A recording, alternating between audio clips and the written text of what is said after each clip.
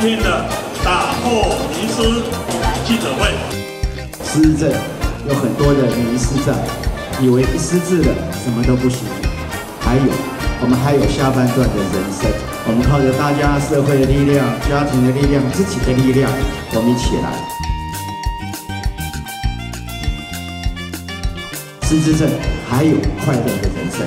失智的人口三秒就增加一所以速度非常的快速。但是更重要是认识失智症，好，让更多人知道失智症，然后怎样善待失智症，这是我们未来的一个新目标哈。推动行动纲领啊，建立失智症的共照中心祭典哦，还有推动台北市的行动计划。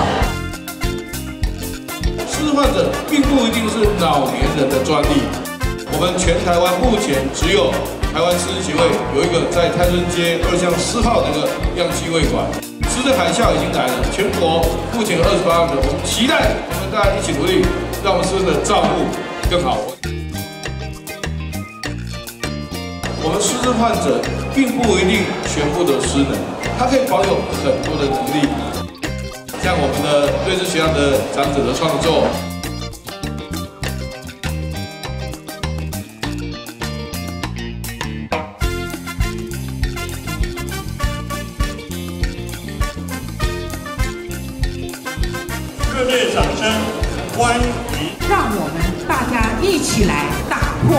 破失智症的成见。失智症人口大约有二十八万，我相信只可能会超出，不可能会减少，因为有太多太多隐性因素不了解，所以说这也是代表失智症的家属也是在隐性的增加，不可能减少，只是比这个数字要稍微多一点。但面对这样的事情，我们能做的其实不只是叹息。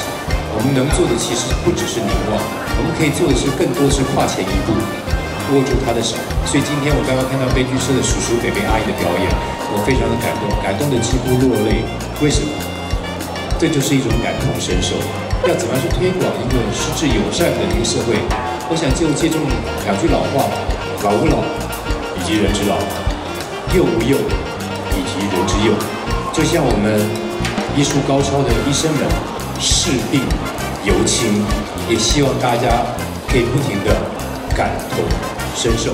那其实说起来容易，做起来不容易哈。在跟失智者互动的时候呢，我们有 do 跟 don't，好，就是哪些事情该做，哪些事情不该做，尽量避免。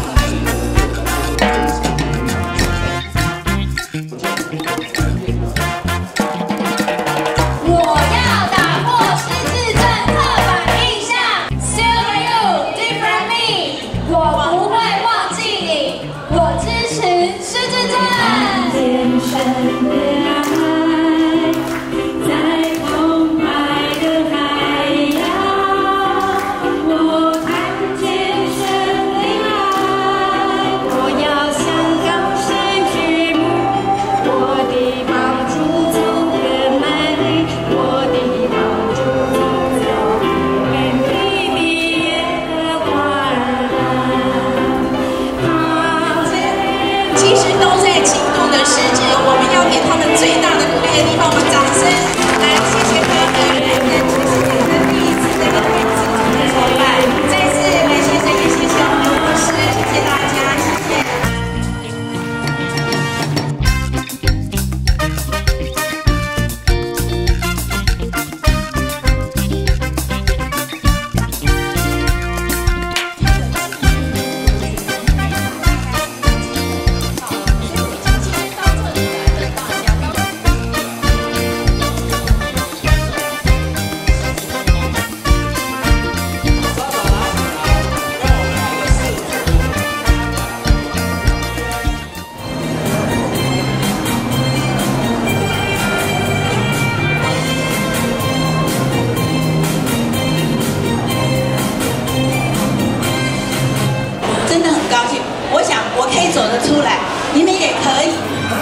Some of the bad bitches, they harassing me.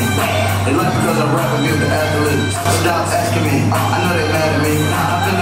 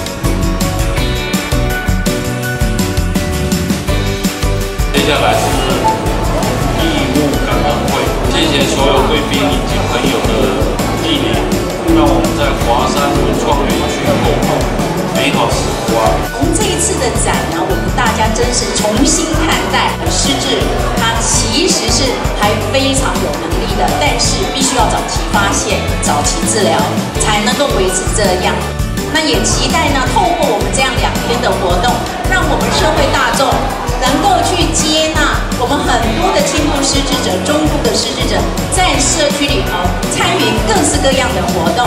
那这两天我看到我们好多失智者很开心哈，参与我们这里面的活动。那也看到很多的呃民众来，然后会问我说：“哎，这位失智吗？”我说：“对。”说：“啊，真的哦，哦这样子哦，他还可以这么厉害。”所以透过活动改变民众的一个是呃看法，这是一个我们这个活动成功的一个